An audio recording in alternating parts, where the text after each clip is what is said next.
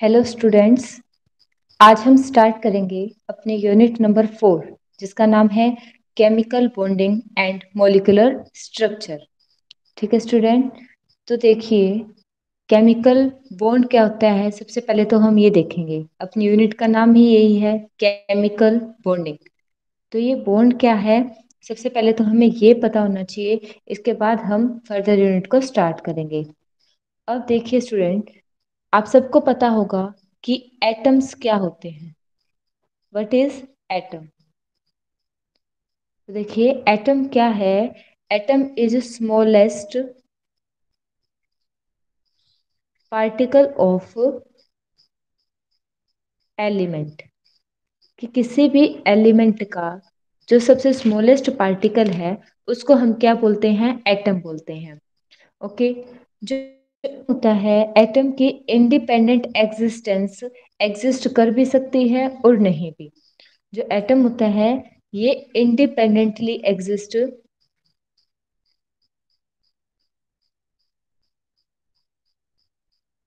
Independently exist कर भी सकता है और नहीं भी। इंडिपेंडेंट एग्जिस्टेंस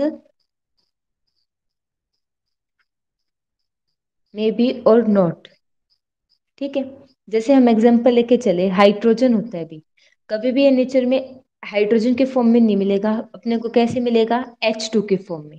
एक हाइड्रोजन दूसरे हाइड्रोजन के साथ कंबाइन होकर ही हमें मिलता है। ठीक है? ऑक्सीजन है जैसे। ऑक्सीजन किस फॉर्म में मिलेगा? ओ टू की फॉर्म में मिलेगा। ठीक है? फ्लोरीन है हेलोजन्स होते हैं अपने पास। वो भी किस फॉर्म में मिलते हैं? डायटोमिक फॉर्म में मिलते हैं। ठीक है? तो ये जो एटम होते हैं, ये कभी भी इंडिपेंडेंटली एग्जिस्ट नहीं करते। सिर्फ़ जो नोबल गैसेस होती है ना जैसे helium neon argon krypton xenon ये सिर्फ़ क्या कर सकती है? इंडिपेंडेंटली एग्जिस्ट कर सकती है। क्योंकि ये क्या होती हैं? स्टेबल स्पीसीज होती हैं। कैसी होती हैं ये? स्टेबल होती है। तो इस वजह से इनकी independent exist independently existence exist होती है। लेकिन कई ऐसे एटम होते हैं जो इंडिपेंडेंटली एग्जिस्ट नहीं करते। वो सिर्फ़ कैसे एग्जिस्ट होंगे बॉन्डिंग स्टेट में? क्लियर हुई इतनी बात? तो देखो, जब एटम क्या करते हैं? दो या दो से ज़्यादा एटम जब कंबाइन होते हैं तो किसका फॉर्मेशन करते हैं? वो मोलिक्यूल का फॉर्मेशन करते हैं भी क्या बना देते हैं? मोलिक्यूल बना देते हैं। तो मोलिक्यूल क्या होता है अपने पास? मोलिक्यूल कॉम्बिनेशन होता है टू और मोर देन टू एटम का। टू और मोर देन टू एटम्स जब क्या करते हैं कंबाइन करते हैं तो वो किसका फॉर्मेशन करते हैं? मोलिक्यूल का फॉर्मेशन करते हैं। और ये दो या दो से ज़्यादा एटम किस तरह से कंबाइन करते हैं? ये केमिकल बॉन्ड के थ्रू कंबाइन करते हैं। जैसे हम H2 का एग्जांपल लेके चले तो एक हाइड्रोजन दूसरे हाइड्रोजन से कैसे अटैच होगा? एक बॉन्ड के थ्रू अटैच होगा। इनके बीच में क्या एग्जिस्ट करता है? बॉन्ड जैसे ऑक्सीजन एटम है भाई। ओ टू है अपने पास ऑक्सीजन और दूसरे ऑक्सीजन के बीच में क्या होता है? बॉन्ड होता है। बात समझ रहे हो? ठीक है तो ये जो दो एटम है, ये किस तरह से एक दूसरे से कंबाइन होते हैं? बॉन्ड के थ्रू कंबाइन होते हैं। ओके ठीक है, अब देखिए, ये बॉन्ड क्या होता है? व्हाट इज़ केमिकल बॉन्ड हम बॉन्ड को कैसे डिफाइन करेंगे? ठीक है तो बॉन्ड क्या है? बॉन्ड एक टाइप का फोर्स ऑफ़ अट्रैक्शन है। It is a kind of force of attraction bond क्या होता है? एक तरह का फोर्स ऑफ़ अट्रैक्शन होता है which holds which holds the atom which holds the atoms together. जो एटम्स को क्या करके रखता है, एक दूसरे से कंबाइन करके रखता है, ये इस तरह का एक फोर्स ऑफ़ अट्रैक्शन होता है। जैसे इधर देखिए, एक हाइड्रोजन दूसरे हाइड्रोजन से कैसे कनेक्ट है? एक बॉन्ड के थ्रू और ये बॉन्ड क्या है? एक हाइड्रोजन का दूसरे हाइड्रोजन से फोर्स ऑफ़ अट्रैक्शन है। क्लियर हुई इतनी बात? तो देखो स्टूडेंट्स केमिकल बॉन्ड क्या होते हैं? केमिकल बॉन्ड एक तरह के फोर्स ऑफ़ अट्रैक्शन होते हैं, जो एटम्स को क्या करके रखते हैं? कंबाइन करके रखते हैं एक दूसरे से। उनको हम क्या बोलेंगे? बॉन्ड बोलते हैं। क्लियर हुई इतनी बात? अब हमारे मन में क्वेश्चन आते हैं कि ये जो बॉन्ड बनते हैं एटम्स जो होते हैं, उनको ऐसी क्या नीड पड़ी कि वो बॉन्ड बना के ही एग्जिस्ट करते हैं? भाई, वो कंबाइन होते हैं। ठीक है फ़र्स्ट क्वेश्चन हमारे दिमाग में ये आएगा कि वाई डू एटम्स कंबाइन कि जो एटम्स होते हैं, वो कंबाइन क्यों हो रहे हैं? वाई डू एटम्स कंबाइन कि एटम कंबाइन क्यों होते हैं? और सेकंड बात हमारे मन में ये आएगी कि एटम कंबाइन होते हैं तो ऐसे कौन कौन से मोड हैं जिनके थ्रू एटम्स क्या कर सकते हैं? कंबाइन कर सकते हैं। ठीक है? कि मोड ऑफ़ बॉन्ड क्या होगा? मोड ऑफ़ बॉन्डिंग क्या होगा? कि किस तरह से एटम बाइंड करते हैं एक दूसरे से, वो हमें स्टडी करना है। समझ रहे हो इतनी? तो देखो फ़र्स्ट ऑफ़ ऑल तो हम इस क्वेश्चन का आंसर देखते हैं अभी। वाई डू एटम्स कंबाइन कि जो एटम्स होते हैं, ये कंबाइन क्यों करते हैं? तो देखिए स्टूडेंट्स जो एटम होते हैं, उनके टेंडेंसी क्या होती है? एटम्स क्या चाहते हैं? स्टेबिलिटी गेन करना। क्या चाहते हैं वो? स्टेबिलिटी को अटेन करना। वो स्टेबिलिटी अटेन करने के लिए किसका फॉर्मेशन करते हैं? बॉन्ड का फॉर्मेशन करते हैं। क्लियर हुई इतनी बात? हर एक एलिमेंट क्या चाहेगा स्टेबिलिटी को अटेन करना चाहेगा और स्टेबिलिटी को अटेन करने के लिए ही एटम क्या करते हैं? बॉन्ड का फॉर्मेशन करते हैं। ठीक है? और स्टेबिलिटी कब हो सकती है? जब अपने पास एनर्जी क्या होगी? सिस्टम की लो होगी। जब सिस्टम की एनर्जी लो होगी, तभी सिस्टम क्या होगा? हाईली स्टेबल होगा। बात समझ रहे हो? सिस्टम कैसा होना चाहिए? लो एनर्जी का होना चाहिए, तभी उसकी स्टेबिलिटी कैसी होगी? हाई होगी। बात समझ रहे हो? अब आप सारे, आप सबकी एनर्जी अगर लो है, तभी आप क्या रहोगे स्टेबल अगर आपकी एनर्जी भी हाई हो जाएगी तो आप क्या करोगे? गुस्सा करोगे इधर उधर भागोगे। बात समझ रहे हो? इसी तरह से एटम भी क्या चाहते हैं? स्टेबिलिटी अटेन करना चाहते हैं। और वो स्टेबिलिटी कैसे अटेन कर सकते हैं? अगर उनकी एनर्जी क्या होगी? लो होगी। अब वो देखो, ये स्टेट को कैसे अटेन कर सकते हैं? तो देखिए स्टूडेंट अपने पास ऐसे कौन कौन से एटम है जो स्टेबल होते हैं? इनर्ट गैस एटम जो है अपने पास। इनर्ट गैसेस होती हैं, या फिर जिनको हम नोबल गैस बोलते हैं भी। ये नोबल गैस और इनर्ट क्या है इनर्ट गैसेस क्या है? स्टेबल एलिमेंट है, ये स्टेबल एटम्स है। ठीक है? जैसे हीलियम है नियोन है आर्गन है क्रिप्टन है और जिनोन ये सारे के सारे एलिमेंट कैसे हैं? स्टेबल है। तो अदर एटम भी क्या चाहते हैं? इनकी तरह स्टेबिलिटी को अटेन करना चाहते हैं। अब इनकी तरह स्टेबिलिटी को कैसे अटेन कर सकते हैं? अदर एटम अपने आउटर शेल के अंदर क्या करके अपने आउटर शेल के अंदर एट इलेक्ट्रॉन को कंप्लीट करके। बात समझ रहे हो? अगर सारे एटम अपने आउटर शेल में एट इलेक्ट्रॉन को कंप्लीट कर लेते हैं मतलब अगर वो अपना ऑक्टेट कंप्लीट कर लेते हैं तो वो क्या करेंगे, क्या हो जाएँगे? स्टेबल स्टेबिलिटी को अटेन कर लेंगे। बात समझ रहे हो? हर एक एटम चाहता है कि वो नोबल गैसेस जैसी इलेक्ट्रॉनिक कॉन्फ़िगरेशन अटेन कर ले। और नोबल गैस जैसी कॉन्फ़िगरेशन को अटेन करने के लिए उन्हें क्या करना पड़ेगा? अपनी आउटर शेल के अंदर एट इलेक्ट्रॉन को कंप्लीट करना पड़ेगा। दैट मींस ऑक्टेट को कंप्लीट करना पड़ेगा। बात समझ रहे हो? जब एटम का ऑक्टेट कंप्लीट हो जाएगा तो उसकी एनर्जी लो हो जाएगी और एनर्जी लो होने की वजह से स्टेबिलिटी क्या हो जाएगी? इंक्रीज हो जाएगी। यही रीजन है जिसकी वजह से एटम्स क्या नहीं करते? इंडिपेंडेंटली एग्जिस्ट नहीं करते। वो किस तरह से रहते हैं? कंबाइंड फॉर्म में रहते हैं। एक एटम एटम दूसरे एटम के साथ बॉन्ड बना के रहता है कि क्या है उनका रीजन स्टेबिलिटी को अटेन करना। और स्टेबिलिटी को कैसे अटेन कर सकते हैं वो ऑक्टेट को कंप्लीट करके। बात क्लियर हुई इतनी? ठीक है तो इधर से अपने पास क्या आता है? ऑक्टेट रूल आता है भी तो देखिए ऑक्टेट रूल क्या बोलता है? व्हाट इज़ ऑक्टेट रूल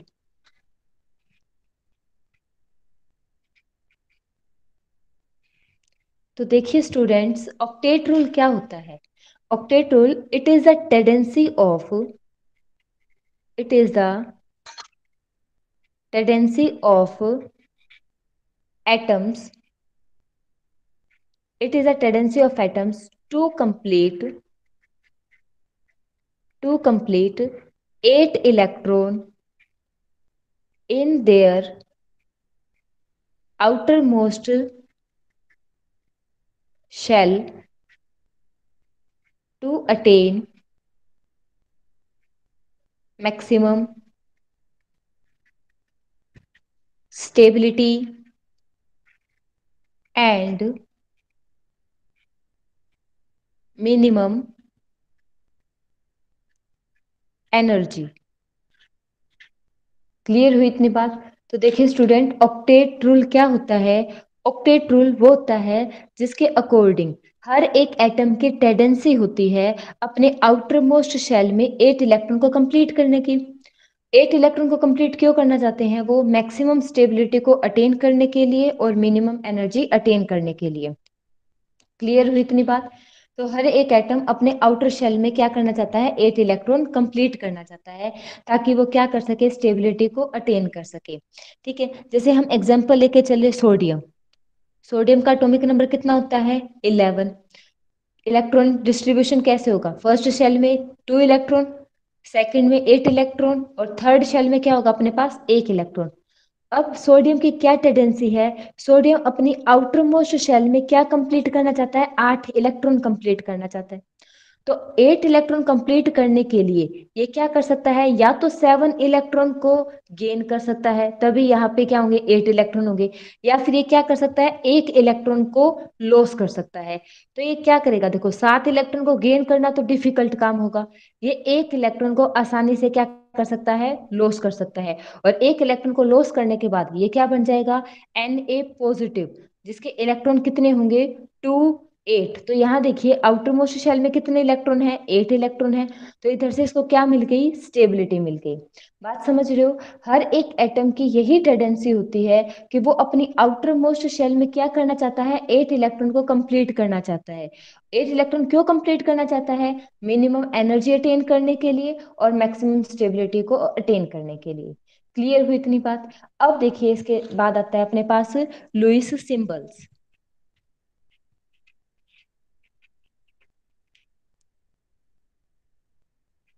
देखिए स्टूडेंट्स लुइस सिंबल्स क्या होते हैं? हम इनको डॉट रिप्रेजेंटेशन भी बोलते हैं भी क्या बोलते हैं इनको? डॉट रिप्रेजेंटेशन भी बोलते हैं। देखिए लुइस ने क्या दिया था? एक मेथड दिया था। उसने क्या बताया था कि हम वैलेंस इलेक्ट्रॉन को कैसे शो कर सकते हैं अभी इसे वैलेंस इलेक्ट्रॉन को, हर एक एटम के वैलेंस इलेक्ट्रॉन को रिप्रेजेंट करने के लिए एक सिंबल दिया था। उसी को हम क्या बोलते हैं? लुइस सिंबल बोलते हैं। बात समझ रहे हो? देखो वैलेंस इलेक्ट्रॉन को ही रिप्रेजेंट करना क्यों इंपॉर्टेंट होता है? क्योंकि जो बॉन्ड बनते हैं ना अपने, जो एटम्स बॉन्ड बनाते हैं, उन बॉन्डिंग के अंदर वैलेंस इलेक्ट्रॉन क्या करते हैं? पार्टिसिपेट करते हैं। वैलेंस इलेक्ट्रॉन मतलब जो आउटर मोस्ट शेल के अंदर इलेक्ट्रॉन होंगे, उनको हम क्या बोलते हैं? वैलेंस इलेक्ट्रॉन और बॉन्डिंग के अंदर सिर्फ़ ये वैलेंस इलेक्ट्रॉन क्या करते हैं? पार्टिसिपेट करते हैं। इन वैलेंस इलेक्ट्रॉन को रिप्रेजेंट करने के लिए हम किसका यूज़ करते हैं? डॉट रिप्रेजेंटेशन का यूज़ करते हैं। देखिए, कैसे हम रिप्रेजेंट कर सकते हैं? लिथियम है अपने पास जैसे। लिथियम के आउटर में कितने इलेक्ट्रॉन होते हैं? एक इलेक्ट्रॉन होते हैं अभी। तो यहाँ हम क्या कर देंगे? एक डॉट लगा देंगे। ये एक डॉट क्या शो करता है कि लिथियम के वैलेंस इलेक्ट्रॉन कितने हैं? एक। बात समझ रहे हो? अब नेक्स्ट देखो। नेक्स्ट क्या है अपने पास?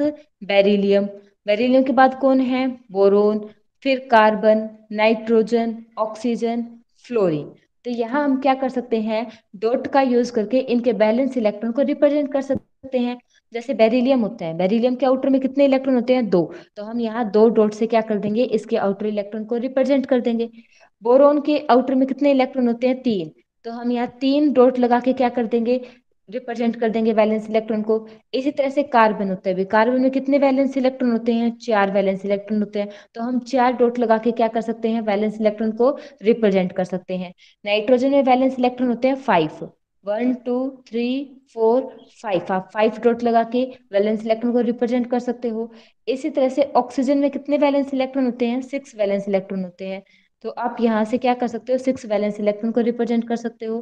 फ्लोरीन में वैलेंस इलेक्ट्रॉन कितने होते हैं? सेवन। तो आप क्या कर सकते हो इधर? सेवन डॉट लगा के वैलेंस इलेक्ट्रॉन को रिप्रेजेंट कर सकते हो। तो ये किसने बताई थी हमें? लुइस ने बताई थी। इसको हम लुइस सिंबल बोलते हैं और इनको डॉट रिप्रेजेंटेशन भी बोला जाता है। हम इसका क्यों यूज़ करते हैं? वैलेंस इलेक्ट्रॉन को रिप्रेजेंट करने के लिए। हम डॉट लगाकर क्या करते हैं? वैलेंस इलेक्ट्रॉन को रिप्रेजेंट करते हैं। यही क्या कहलाती है? अपनी डॉट रिप्रेजेंटेशन कहलाती है। अब इसका क्या सिग्निफिकेंस है? ये कहाँ काम आती है भाई? क्या हम इसे कैलकुलेट कर सकते हैं? तो सिग्निफिकेंस ऑफ़ लुइस सिंबल। कि लुइस सिंबल का क्या सिग्निफिकेंस होता है? तो लुइस सिंबल से हम क्या कैलकुलेट कर सकते हैं? वैलेंसी को कैलकुलेट कर सकते हैं भी। किसको कैलकुलेट कर सकते हैं? वैलेंसी को। वैलेंसी क्या होती है कि किसी भी एटम को कितने नंबर ऑफ़ इलेक्ट्रॉन लॉस करने हैं या कितने नंबर ऑफ़ इलेक्ट्रॉन गेन करने हैं, क्या करने के लिए? अपना ऑक्टेट कंप्लीट करने के लिए। वो क्या कहलाती है? वैलेंसी कहलाती है। तो हम लुइस सिंबल से क्या कैलकुलेट कर सकते हैं? वैलेंसी को कैलकुलेट कर सकते हैं। अब देखिए वैलेंसी को हम कैसे कैलकुलेट करेंगे? अगर अपने पास वैलेंस इलेक्ट्रॉन अगर अपने पास वैलेंस इलेक्ट्रॉन मतलब एन को मैं क्या कर रही हूँ? वैलेंस इलेक्ट्रॉन से रिप्रेजेंट कर रही हूँ। अगर अपने पास वैलेंस इलेक्ट्रॉन क्या है? लेस देन या इक्वल टू फोर है। अगर valence electron less than equal to four है तो अपने पास वैलेंसी भी क्या रहेगी? जितने नंबर ऑफ़ वैलेंस इलेक्ट्रॉन है। मतलब वैलेंसी किसके इक्वल रहेगी? एन के इक्वल रहेगी। बात समझ रहे हो? जैसे लिथियम है। लिथियम के वैलेंस इलेक्ट्रॉन कितने हैं? एक। तो लिथियम की वैलेंसी भी कितनी होगी? एक। बेरिलियम के वैलेंस इलेक्ट्रॉन कितने हैं? दो। तो लिथियम की वैलेंसी भी कितनी होगी? दो।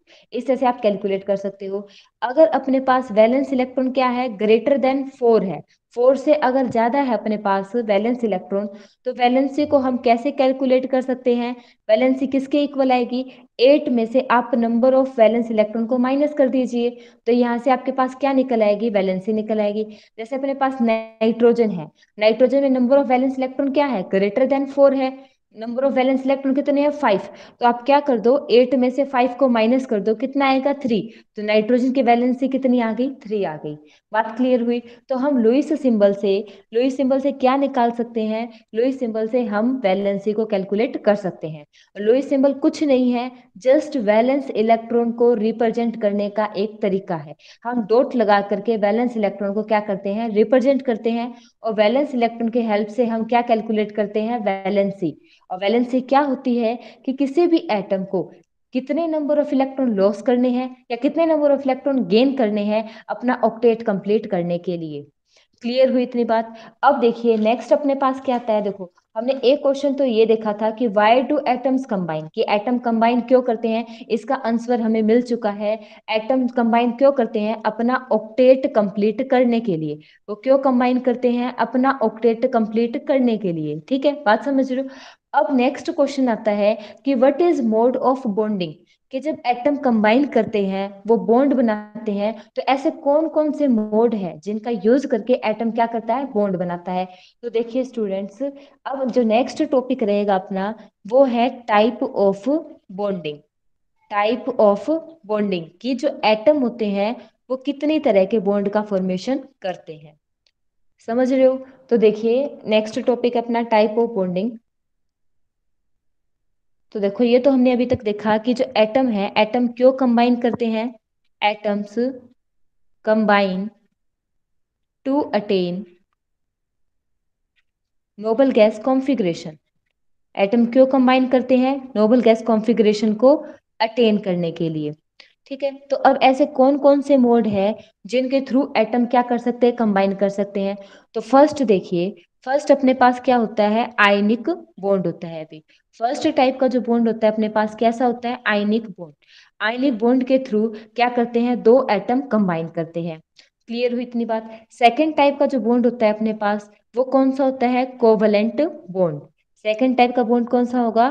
कोवलेंट बॉन्ड होगा. और थर्ड टाइप के जो बॉन्ड आएगा अपने पास दैट इज़ कोऑर्डिनेट बॉन्ड कौन सा बॉन्ड होगा? कोऑर्डिनेट बॉन्ड होगा भाई.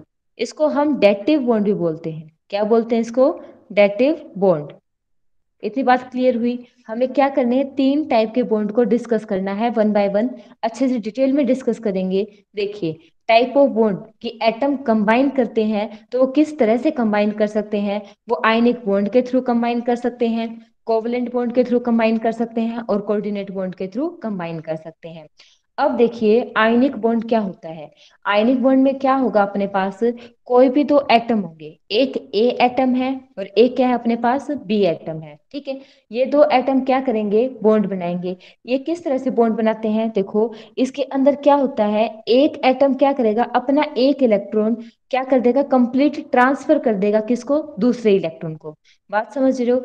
आयनिक बॉन्ड के अंदर क्या होता है? कंप्लीट ट्रांसफ़र ऑफ़ इलेक्ट्रॉन होता है भाई। यहाँ क्या होता है? कंप्लीट ट्रांसफ़र ऑफ़ इलेक्ट्रॉन होता है। यहाँ एक एटम जिसकी इलेक्ट्रोनेगेटिविटी कम है, वो क्या करेगा? एक इलेक्ट्रॉन को ट्रांसफ़र कर देगा दूसरे एटम को, ठीक है? तो इस तरह से जो बॉन्ड बनता है by complete transfer of electron जो बॉन्ड फॉर्म होता है, उसको हम क्या बोलते हैं? आयनिक बॉन्ड बोलते हैं। Okay okay. अब नेक्स्ट देखिए कोवलेंट बॉन्ड क्या होता है? कोवलेंट बॉन्ड में कंप्लीट ट्रांसफ़र नहीं होता। यहाँ क्या होता है, देखो, एक ए एटम है, एक इलेक्ट्रॉन ये लेके आएगा और दूसरा अपने पास कोई एक एटम है, ये दूसरा इलेक्ट्रॉन लेके आएगा। अब ये क्या करते हैं ये इलेक्ट्रॉन इस एटम का है और ये वाला इलेक्ट्रॉन इस एटम का है। ये क्या करेंगे? आपस में इसको म्यूचुअल शेयर करते हैं भाई। इसके इलेक्ट्रॉन का यूज़ ये वाला एटम भी करेगा और इसके इलेक्ट्रॉन का यूज़ ये करेगा। बात समझ रहे हो? तो इस तरह से म्यूचुअल शेयरिंग से जो बॉन्ड फॉर्म होते हैं, उनको हम क्या बोलते हैं? कोवलेंट बॉन्ड बोलते हैं। क्लियर हुई इतनी बात? तो देखिए स्टूडेंट्स कोवलेंट बॉन्ड क्या होता है? Covalent bond is formed by mutual sharing of electron ये कैसे फॉर्म होता है? म्यूचुअल शेयरिंग ऑफ़ इलेक्ट्रॉन से। कि जब इलेक्ट्रॉन क्या करते हैं? अपने इलेक्ट्रॉन को म्यूचुअली शेयर करते हैं तो उस तरह से जो बॉन्ड फॉर्म होता है, उसको हम क्या बोलेंगे? कोवलेंट बॉन्ड बोलते हैं। क्लियर हुई इतनी बात? अब नेक्स्ट आता है कोऑर्डिनेट बॉन्ड कोऑर्डिनेट बॉन्ड में क्या होता है?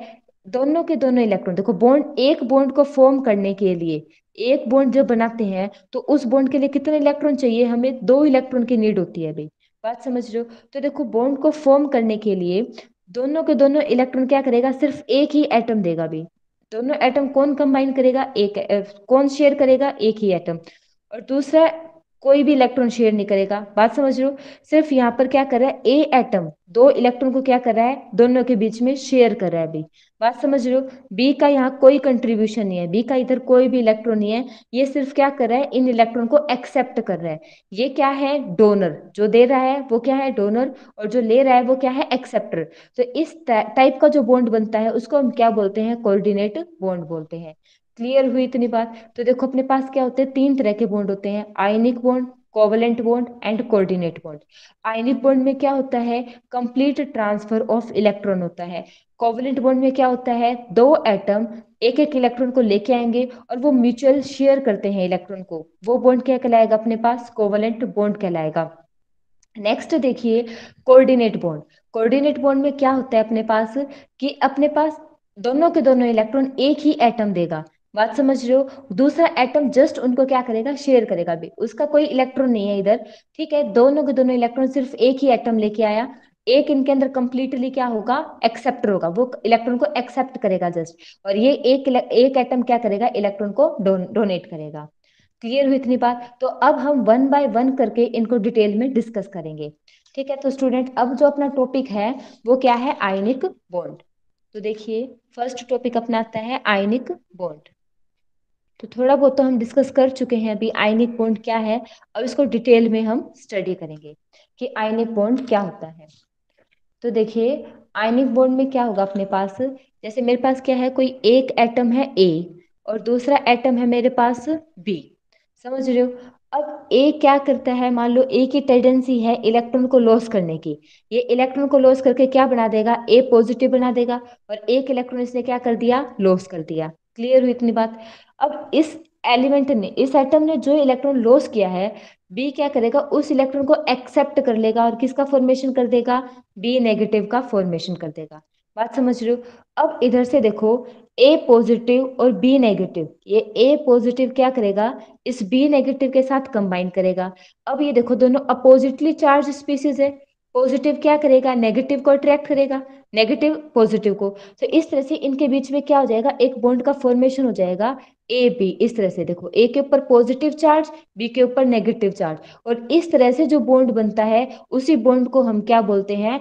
आयोनिक बॉन्ड बोलते हैं। देखो, नाम से ही पता चल रहा होगा। आयोनिक बॉन्ड मतलब आयन के बीच का बॉन्ड यहाँ एक पॉजिटिव आयन है, एक नेगेटिव आयन है।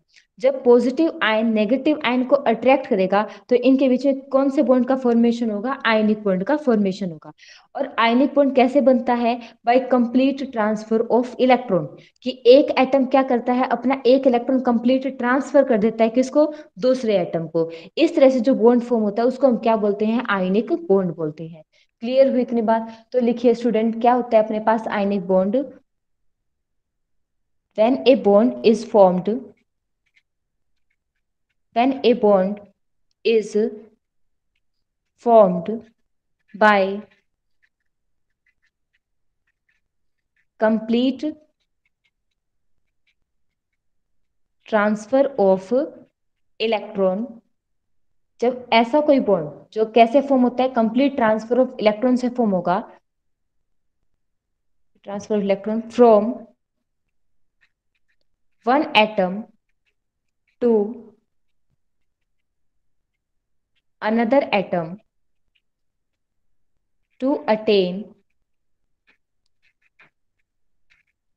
noble gas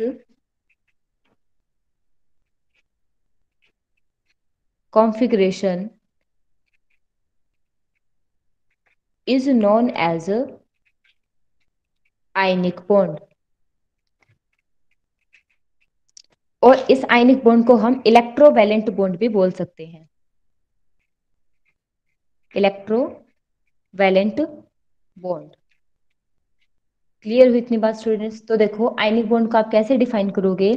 When a bond is formed by complete transfer of electron जब कोई बो, ऐसा बॉन्ड जिसमें क्या होता है इलेक्ट्रॉन का कंप्लीट ट्रांसफ़र होता है from one atom to another atom एक एटम से दूसरे एटम पर to attain noble gas configuration noble gas configuration को अटेन करने के लिए ऐसे बॉन्ड को हम क्या बोलेंगे आयनिक बॉन्ड बोलते हैं, ठीक है? और आयनिक बॉन्ड को हम दूसरा नाम भी दे सकते हैं इलेक्ट्रोवैलेंट बॉन्ड इसको हम क्या बोलते हैं? इलेक्ट्रोवैलेंट बॉन्ड भी बोलते हैं। क्लियर हुई इतनी बात? अब देखो, एक प्रॉपर एग्ज़ाम्पल लेके चलते हैं भाई। आप उस एग्ज़ाम्पल से देखना कि आयनिक बॉन्ड कैसे फॉर्म होता है। जैसे अपने पास NaCl होता है कॉमन साल्ट ये सबने सुना होगा? NaCl इधर सोडियम के ऊपर कौन सा चार्ज होता है? पॉजिटिव। और क्लोरीन के ऊपर कौन सा चार्ज होता है? नेगेटिव। Sorry, negative.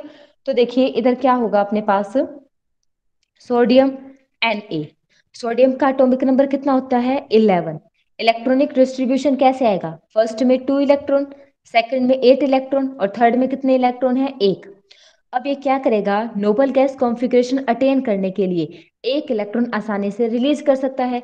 तो सोडियम क्या करेगा? अपना एक इलेक्ट्रॉन रिलीज़ करके क्या बना देगा? एन ए पॉजिटिव तो यहाँ से क्या हो जाएगा देखो? टू एट ये कॉन्फ़िगरेशन अटेन कर ली स्टेबिलिटी गेन कर ली और इसने क्या कर दिया? एक इलेक्ट्रॉन को लॉस कर दिया। अब सेकंड कौन आएगा अपने पास? क्लोरीन क्लोरीन का एटॉमिक नंबर कितना होता है? सेवनटी इलेक्ट्रॉनिक डिस्ट्रीब्यूशन कैसे होगा? टू एट सेवन इस तरह से होगा। अब देखिए क्लोरीन को अपनी आउटर शेल में एट इलेक्ट्रॉन कंप्लीट करने के लिए कितने इलेक्ट्रॉन चाहिए? एक इलेक्ट्रॉन और चाहिए। तो वो एक इलेक्ट्रॉन को क्या कर सकता है? आसानी से गेन कर सकता है। जैसे ये एक इलेक्ट्रॉन को देखेगा तो एक इलेक्ट्रॉन को गेन करके क्या कर देगा? सीएल नेगेटिव का फॉर्मेशन अब यहाँ से क्या हो गया? Electron distribution two eight eight ये बन गया भाई इधर आउटर शेल में कितने इलेक्ट्रॉन आ गए? एट इलेक्ट्रॉन आ गए। इतनी बात समझ में आ गई? देखो, दोनों एटम ने क्या कर ली? स्टेबिलिटी को अटेन कर लिया। अब यहाँ से देखो, ये एन ए पॉजिटिव अब क्या करेगा? इस सी एल नेगेटिव के साथ कंबाइन करेगा अभी N A positive combine with C L negative और इधर से किसका फॉर्मेशन हो जाएगा? एन ए सी एल का फॉर्मेशन हो जाएगा। इस टाइप से जो बॉन्ड बनता है, उसको हम क्या बोलते हैं? आयनिक बॉन्ड बोलते हैं।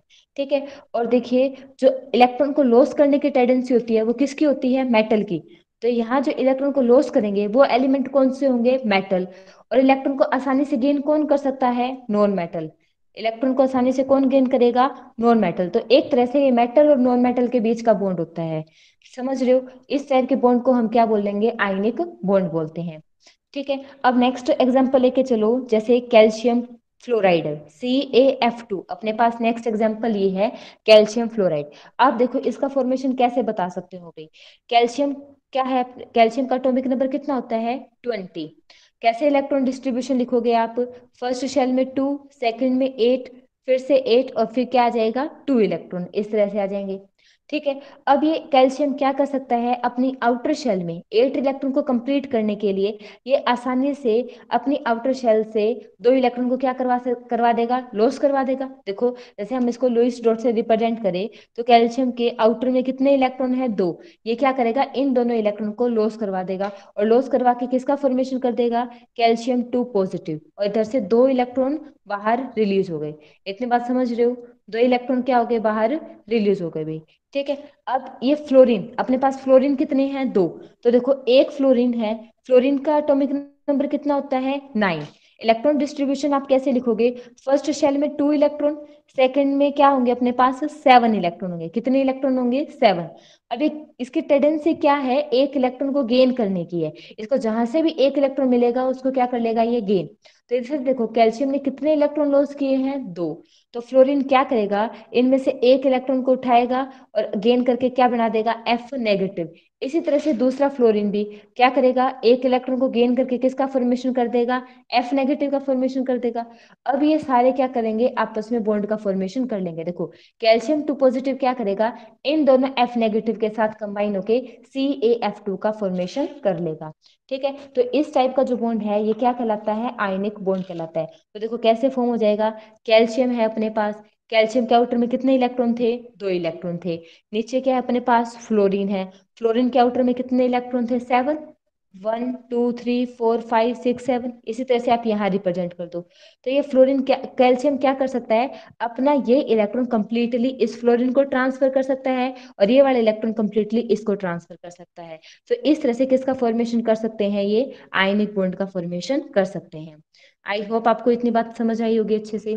ठीक है आप इसी तरह से मैग्नीशियम ऑक्साइड का बना के देखना। आप खुद प्रैक्टिस करके देखना कि मैग्नीशियम ऑक्साइड के बीच में आयनिक बॉन्ड कैसे बनता है।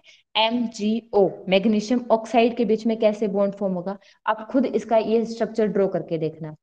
ठीक है, अब देखो, उसके बाद एक टर्म आती है इलेक्ट्रोवैलेंसी देखिए स्टूडेंट्स एक टर्म आएगी इलेक्ट्रोवैलेंसी ये इलेक्ट्रोवैलेंसी क्या होती है? तो देखो इलेक्ट्रोवैलेंसी क्या है? कुछ भी नहीं, ये क्या है? नंबर ऑफ़ इलेक्ट्रॉन है। This is the number of electron which is transferred which is transferred from one atom to another atom ये नंबर ऑफ़ इलेक्ट्रॉन है, जो एक एटम से दूसरे एटम पर क्या किए जाते हैं? ट्रांसफ़र किए जाते हैं। One atom to another atom उन नंबर ऑफ़ इलेक्ट्रॉन को ही हम क्या कहेंगे? इलेक्ट्रोवैलेंसी बोलते हैं। ठीक है? जैसे NaCl का एग्ज़ाम्पल लेके चले हम। NaCl के केस में, यहाँ पर देखो Na पॉजिटिव Cl नेगेटिव ये फॉर्म हुआ था। इधर सोडियम ने कितने इलेक्ट्रॉन ट्रांसफ़र किए थे क्लोरीन को? एक इलेक्ट्रॉन ट्रांसफ़र किया था। कितने इलेक्ट्रॉन ट्रांसफ़र किए थे? एक। तो इस वजह से इसकी इलेक्ट्रोवैलेंसी कितनी है? एक है। बात समझ रहे हो? इलेक्ट्रोवैलेंसी क्या होती है? इलेक्ट्रोवैलेंसी वो नंबर ऑफ़ इलेक्ट्रॉन होते हैं जो हम आयनिक बॉन्ड बनाने के दौरान ट्रांसफ़र करवाते हैं एक एटम से दूसरे एटम पर। क्लियर हुई इतनी बात? ये क्या है? अपने पास इलेक्ट्रो वैलेंसी है। इलेक्ट्रो वैलेंसी क्या होती है? It is the number of electron which is transferred from one atom to another atom कि एक एटम से दूसरे एटम पर जितने नंबर ऑफ़ इलेक्ट्रॉन ट्रांसफ़र करवाए जाते हैं, उन्हीं को हम क्या बोलते हैं? इलेक्ट्रोवैलेंसी बोलते हैं। जैसे मैग्नीशियम ऑक्साइड का आप एग्जांपल लेके चलोगे एमजीओ का। तो इधर मैग्नीशियम क्या करते हैं? मैग्नीशियम के ऊपर आता है टू पॉजिटिव चार्ज और ऑक्सीजन के ऊपर कितना आता है? टू नेगेटिव तो इधर से मैग्नीशियम से ऑक्सीजन की तरफ़ कितने इलेक्ट्रॉन ट्रांसफ़र हुए हैं? दो इलेक्ट्रॉन ट्रांसफ़र हुए हैं। तो इस सिस्टम के लिए इलेक्ट्रोवैलेंसी कितनी होगी? दो। तो यहाँ से इलेक्ट्रोवैलेंसी कितनी आ जाएगी? टू आ जाएगी। इतनी बात क्लियर हुई।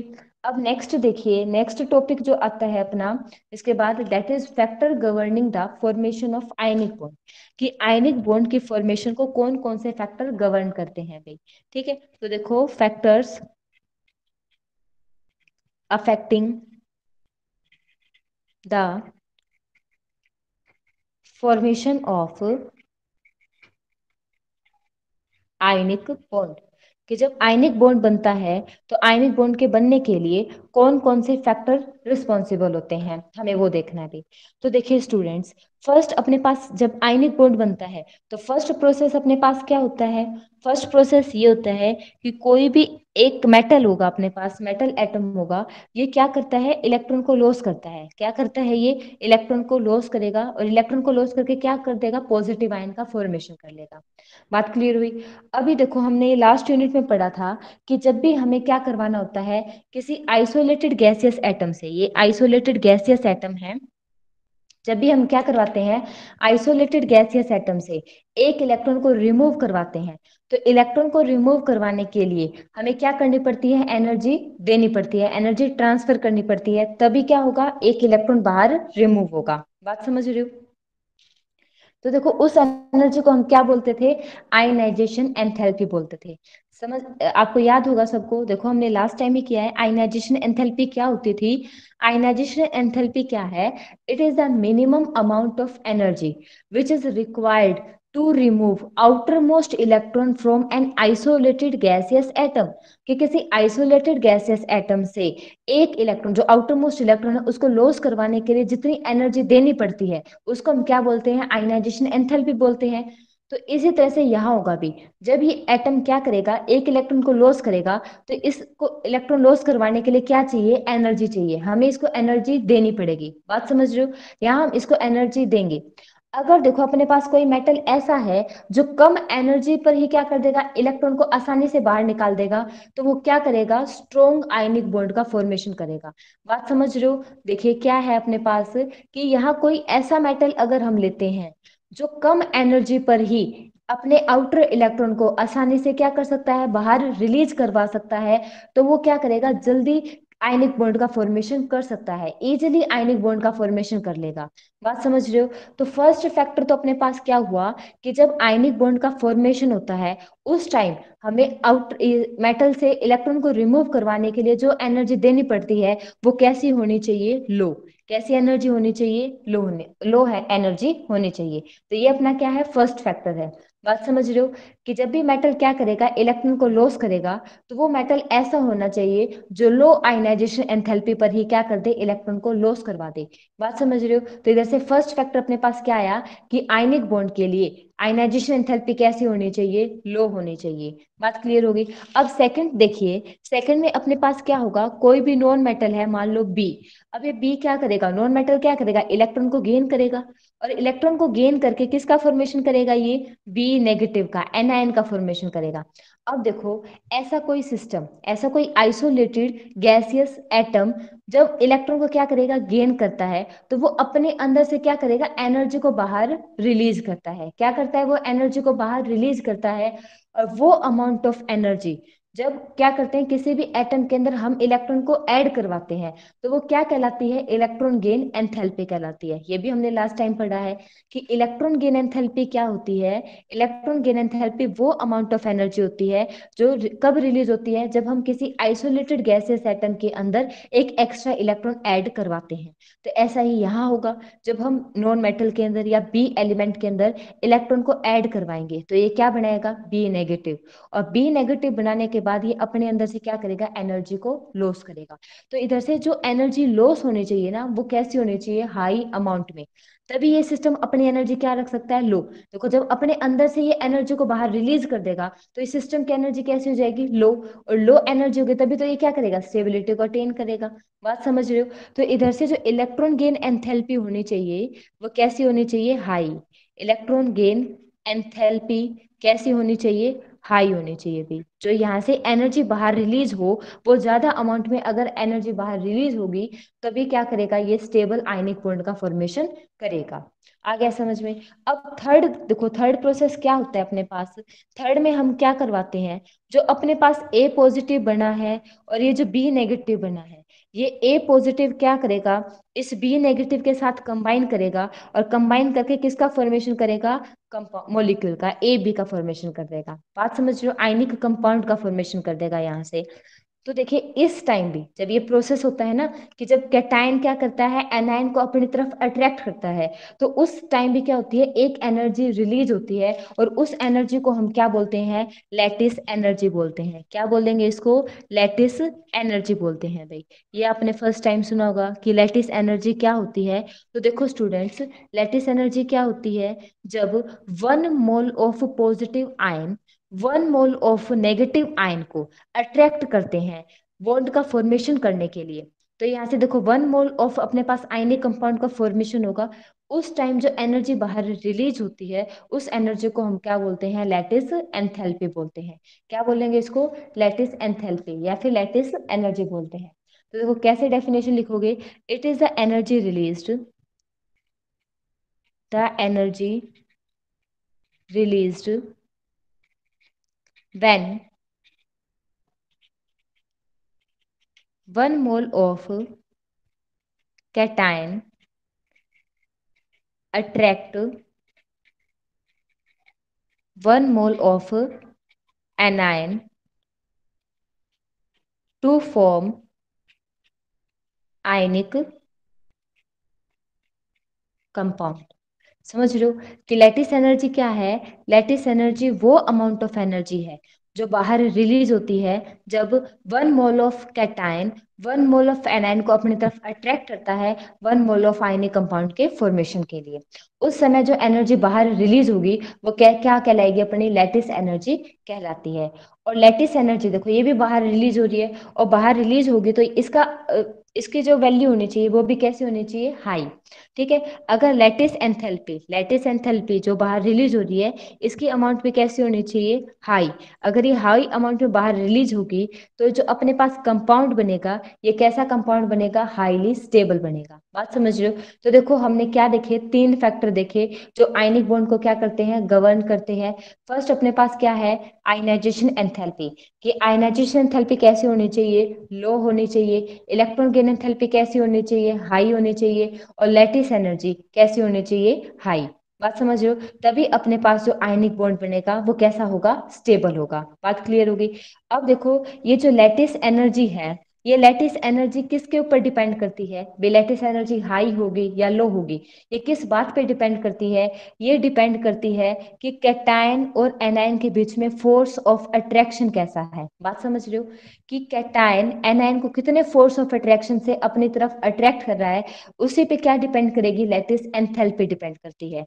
बात समझ रहे हो? तो देखो, इनके बीच का जो फोर्स ऑफ़ अट्रैक्शन होगा, वो हम कैसे कैलकुलेट कर सकते हैं? तो देखिए, जो फोर्स ऑफ़ अट्रैक्शन है, वो किसके ऊपर डिपेंड करता है? It is directly proportional to the product of magnitude of charge जो कैटायन और एनायन के ऊपर जो चार्ज होंगे, उनके मैग्नीट्यूड उनके मैग्नीट्यूड का क्या? प्रोडक्ट इसके तो क्या होगा? फोर्स डायरेक्टली प्रोपोर्शनल होगा। और दूसरी बात, उनके जो साइज़ होगा उन आयन का जो साइज़ होगा, उनके ऊपर डिपेंड करेगा क्या? फोर्स ऑफ़ अट्रैक्शन अगर साइज़ लार्ज होगा तो फोर्स ऑफ़ अट्रैक्शन क्या होगा? कम. फोर्स ऑफ़ अट्रैक्शन कम होगा. अगर साइज़ क्या होगा? कम. तो फोर्स ऑफ़ अट्रैक्शन क्या होगा? ज़्यादा। तो इधर से हम देखो, क्या बता सकते हैं कि जो फोर्स ऑफ़ अट्रैक्शन है, वो किसके ऊपर डिपेंड करता है? रेडियस पे डिपेंड करता है। किसकी रेडियस एटम्स आयंस की रेडियस कि आयंस की रेडियस अगर कम होगी तो फोर्स ऑफ़ अट्रैक्शन ज़्यादा होगा। अगर रेडियस ज़्यादा होगी तो फोर्स ऑफ़ अट्रैक्शन कम। तो ये एक दूसरे के क्या होते हैं? इनवर्सली प्रपोर्शनल होते हैं भाई। यहाँ स्क्वेयर आएगा। ठीक है? तो देखो, जो अपने पास दो अपोजिटली चार्ज आयन है, एक पॉजिटिव है और एक नेगेटिव है, इनके बीच का जो फोर्स ऑफ़ अट्रैक्शन होगा, ये फोर्स ऑफ़ अट्रैक्शन किन पे डिपेंड करता है? फ़र्स्ट तो वो उनके चार्ज के मैग्नीट्यूड पे डिपेंड करेगा सेकंड उनके एटॉमिक साइज़ के ऊपर डिपेंड करता है। अगर आयन का साइज़ बड़ा होगा तो उनके बीच फोर्स ऑफ़ अट्रैक्शन कम होगा। अगर आयन का साइज़ छोटा होगा तो उनके बीच फोर्स ऑफ़ अट्रैक्शन हाई होगा। बात समझ रहे हो? तो इधर से हम बता सकते हैं कि अगर फोर्स ऑफ़ अट्रैक्शन ज़्यादा होगा आयंस के बीच में तो अपने पास लेटेस्ट एंथेल्पी जो होगी, वो क्या होगी? ज़्यादा। लेटेस्ट एंथेल्पी जो बाहर रिलीज़ होगी लेटेस्ट एंथैल्पी क्या होगी? हाई और अगर लेटेस्ट एंथेल्पी हाई होगी तो अपने पास आयनिक बॉन्ड जो बनेगा आयनिक बॉन्ड उसकी स्ट्रेंथ उतनी ही क्या होगी? ज़्यादा। आयनिक बॉन्ड उतना ही क्या बनेगा? स्ट्रॉन्ग बनेगा। इतनी बात समझ रहे हो? क्लियर हुई इतनी बात? अब देखो, एक लास्ट क्वेश्चन देखते हैं। क्वेश्चन क्या है अपने पास? कि ये बताइए कि NaCl एंड मैग्नीशियम ऑक्साइड अपने पास दो क्या है? आयनिक कंपाउंड है। एक है NaCl और दूसरा क्या है? Magnesium oxide out of NaCl and magnesium oxide which one have higher melting point which one have higher melting point कि इनमें से किसका मेल्टिंग पॉइंट हायर होगा? ये आप एक्सप्लेन कीजिए। तो देखिए स्टूडेंट्स आप कैसे बताओगे? बिल्कुल सिंपल क्वेश्चन है, कुछ भी नहीं करना। बस आप ये देखो कि इन दोनों में से किसके आयनिक बॉन्ड की स्ट्रेंथ ज़्यादा है? इन दोनों में से किसका आयनिक बॉन्ड स्ट्रोंग है? उसी का मेल्टिंग पॉइंट क्या होगा? हाई होगा।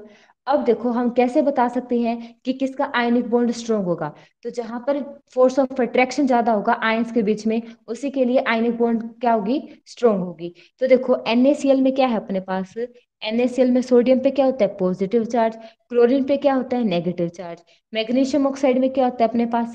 मैग्नीशियम पे क्या होता है? टू पॉजिटिव चार्ज और ऑक्सीजन पे क्या होता है? टू नेगेटिव चार्ज बात समझ रहे हो? अभी देखो, ऊपर मैंने फॉर्मूला लिख रखा है कि आयंस के बीच का जो फोर्स ऑफ़ अट्रैक्शन है, वो किसके ऊपर डिपेंड करता है? जो ऊपर चार्ज है, उन चार्ज के प्रोडक्ट के ऊपर. तो देखो, यहाँ कितना चार्ज है? प्लस वन चार्ज है. तो फोर्स ऑफ़ अट्रैक्शन इन चार्ज के ऊपर डिपेंड करेगा। और इधर कितना चार्ज है? प्लस टू चार्ज है भी कितना चार्ज है? प्लस टू चार्ज है। तो देखो चार्ज का मैग्नीट्यूड कौन से आयन में ज़्यादा है? कौन से कंपाउंड में ज़्यादा है? मैग्नीशियम ऑक्साइड के अंदर ज़्यादा है।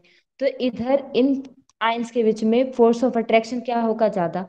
और फोर्स ऑफ़ अट्रैक्शन जहाँ ज़्यादा होगा, उनका जो आयनिक बॉन्ड बनेगा, वो आयनिक बॉन्ड कैसा बनेगा? स्ट्रोंग आयनिक बॉन्ड कैसा होगा? स्ट्रोंग और आयनिक बॉन्ड स्ट्रोंग होने की वजह से इनका मेल्टिंग पॉइंट क्या क्या होगा? हाई मेल्टिंग पॉइंट क्या होगा? हाई तो देखो NaCl और मैग्नीशियम ऑक्साइड में, इन दोनों में से किसका मेल्टिंग पॉइंट हाई होता है? मैग्नीशियम ऑक्साइड का मेल्टिंग पॉइंट हाई होता है। ऐसा क्यों होता है? क्योंकि इसके चार्ज का मैग्नीट्यूड क्या है? हाई और साइज़ भी क्या है इनका स्मॉल इसी वजह से इन आयन के बीच में फोर्स ऑफ़ अट्रैक्शन ज़्यादा होगा।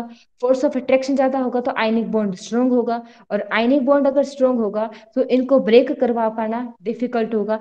इसी वजह से इनका मेल्टिंग पॉइंट क्या होता है? हाई होता है। क्लियर हुई इतनी बात? तो आई होप स्टूडेंट्स आपको ये समझ में आया होगा।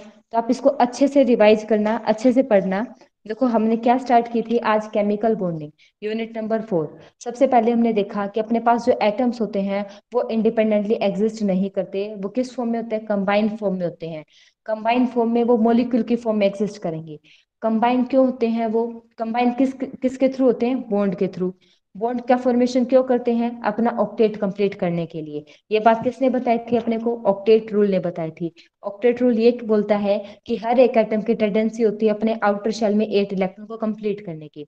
उसके बाद फिर हमने लुइस सिंबल्स देखे। लुइस सिंबल का सिग्निफिकेंस देखा, फिर हमने देखे टाइप ऑफ़ बॉन्डिंग के अपने पास कितने टाइप के बॉन्ड होते हैं। तीन टाइप के बॉन्ड होते हैं, ionic bond, covalent bond and coordinate bond. फिर हमने आयनिक बॉन्ड को डिटेल में स्टडी किया। आयनिक बॉन्ड क्या होता है, जिसमें हम क्या करते हैं, एक एटम से दूसरे एटम पर कंप्लीट ट्रांसफ़र ऑफ़ इलेक्ट्रॉन करते हैं। उसको क्या बोलेंगे? आयनिक बॉन्ड बोलेंगे। तो इसके बाद हमने देखा कि आयनिक बॉन्ड को कौन कौन से फैक्टर अफेक्ट करते हैं। तो फ़र्स्ट अपने पास क्या होनी चाहिए? आयनाइजेशन एंथैल्पी लो होनी चाहिए। सेकंड इलेक्ट्रॉन गेन एंथैल्पी कैसी होनी चाहिए? हाई और थर्ड लैटिस एंथैल्पी भी कैसी होनी चाहिए? हाई अगर लैटिस एंथैल्पी हाई होगी, तभी अपने पास आयनिक बॉन्ड कैसा बनेगा? स्ट्रॉन्ग बनेगा. इतनी बात क्लियर हुई? तो स्टूडेंट इसको केयरफुली अच्छे से पढ़ना। इसमें कोई भी डाउट आए तो आप मुझसे पूछ सकते हो ओके थैंक यू यही ऑफ़ करते हैं अपनी क्लास को।